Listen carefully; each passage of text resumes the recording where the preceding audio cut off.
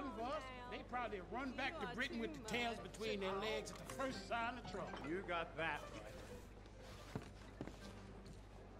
Now, how can I help? You look like a whiskey man.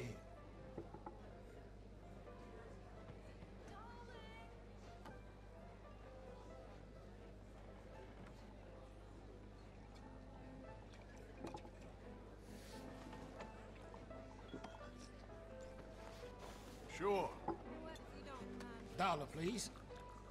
For a whiskey? Sure, that's the real